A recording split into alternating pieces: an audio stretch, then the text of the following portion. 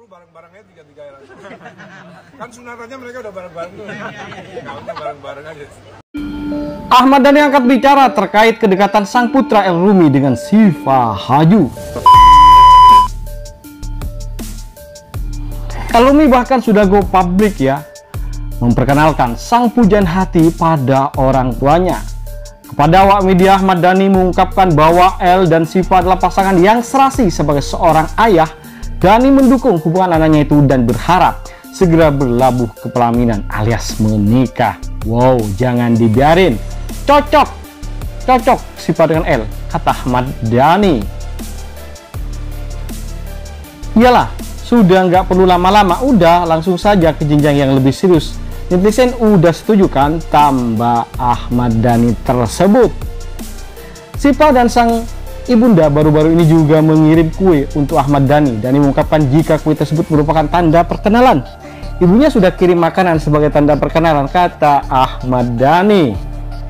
Ya, tentu hal itu semakin ya, memperjelas lampu hijau dari pentolan dewa tersebut yakni papa dari ayah dari L lebih lanjut Ahmad Dhani juga tampaknya memberikan kebebasan kepada ketiga putranya Al El dan Dul. Perihal siapa yang akan menikah duluan? Terserahlah kalau perlu bareng-bareng aja tiga-tiganya kan? Sunatannya mereka udah bareng-bareng tuh nikahnya bareng-bareng aja kata Ahmad Dhani si Pak Haji juga memberikan kue yang sama ke ibunda dari El Rumi Maya Estianti melalui Instagram story Maya mengunggah foto kue pemberian dari Siva ia mengucapkan terima kasih Maya. Terima kasih ya. Maya bahkan memanggil Siva dengan sebutan sayang. Wow ini benar-benar lampu hijau ya.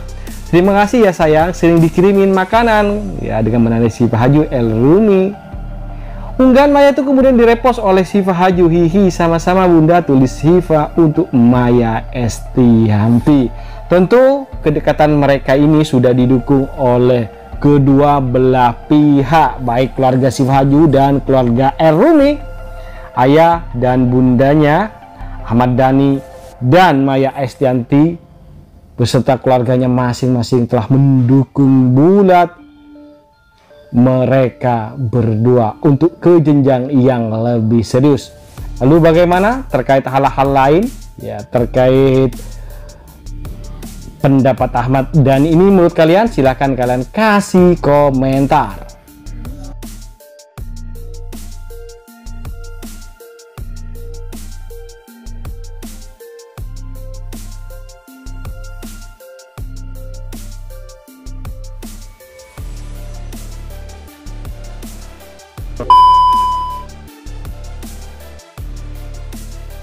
Bagaimana kalian guys? Tentunya jangan lupa kasih masukan dan komentar kalian agar tambah seru biar kita bisa menikmati cerita dan kisah selebritis Indonesia mancanegara yang tentu bakal bikin kalian semua pada happy, seneng dan selalu menunggu kabar dan informasi terbaru terupdate dari kita hanya untuk kalian semua. Oke itu saja, jangan lupa untuk selalu stay di channel kita ini caranya dengan cukup mudah ini klik subscribe dan nyalakan loncengnya. Itu saja. Terima kasih telah menonton.